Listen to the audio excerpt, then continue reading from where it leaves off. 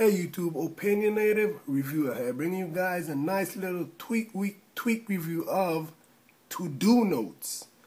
It's by Moeseth and it's in the Big Boss repo for free. Now this one came out yesterday, but when I was just about to do a review on it, something came up and I had to take care of that, so I'm doing the review now. Now this is a nice little handy tweak, especially if you use notes a lot.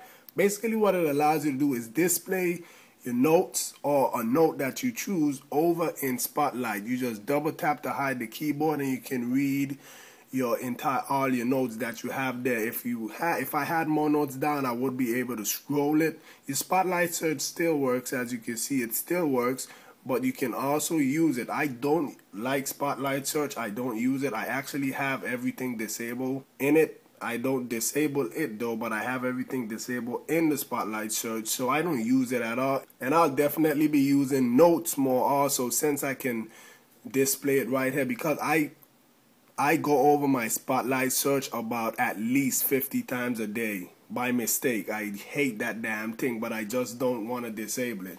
So yeah, but that's basically what it allows you to display your notes right there and i think that's pretty cool. Nothing was added to your springboard nor is there anything to be configured in settings. What you do is you you type your notes right there. As you can see i already type notes and i entered these today since that tweak since i started using that tweak because i think it's nice.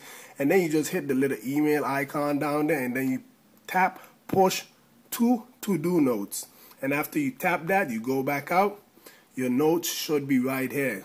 And now that my notes are here, I should not forget anything because you're, you're definitely going to see this all the time whenever you pass over the Spotlight search. So that's basically what the tweak allows you to do. Once again, Spotlight search still works and you double tap to hide the keyboard. So yeah, it's a nice little tweak. It's pretty convenient. I'll definitely be using the Notes app and I'm going to make good use of Spotlight search with this. It's in the Big Boss Repo for free. It's a matter of preference if you want to get it or not. With that being said, please rate, comment, subscribe. Have a nice day.